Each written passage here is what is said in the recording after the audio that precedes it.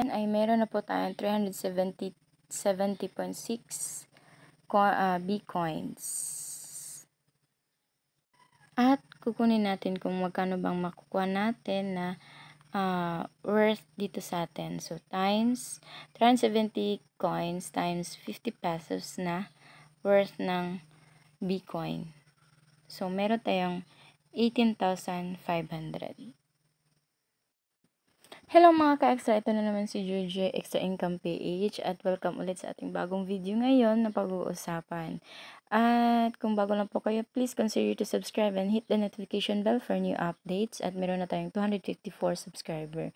Please tulungan po ninyo ako, maabot ko po yung 300 subscriber this week at dito dahil dito sa ating website, uh, dito sa ating channel, nag-upload po tayo ng mga uh, extra income in online at mga website reviews po. So, yan. So, um, subscribe na po kayo para sa mga updates.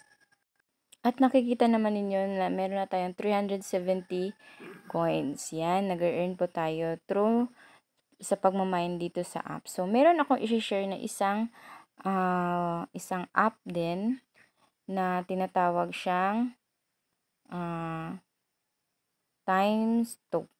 Okay, time stop.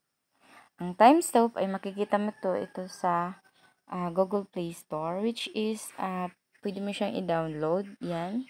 I-download at mag-sign up kayo. At pwede nyo gamitin yung referral code ko na uh, JoyJoy Extra. So, yan. Yan, nag-earn, nag, nagmamine po siya. So, yan.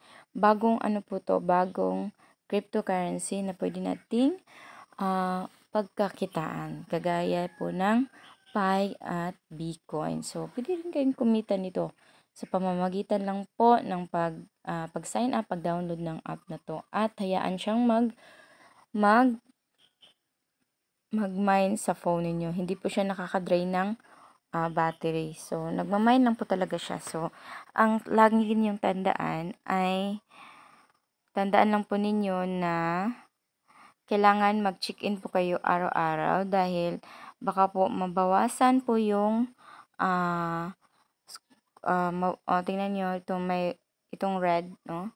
The standard the stand attendance uh, the attendance standard time is 12 am and your account will be disabled if the attendance score becomes zero. So ma mawawala po yung score ninyo kapag yan yung score ninyo pag wala po kayo hindi po kayo nakapag ano nakapag-sign in kada araw. So, pareha lang po sila sa Bitcoin. Kina, kailangan po siyang i-bisitahin kada araw. So, every 24 hours po niyo siya bisitahin. So, yan po.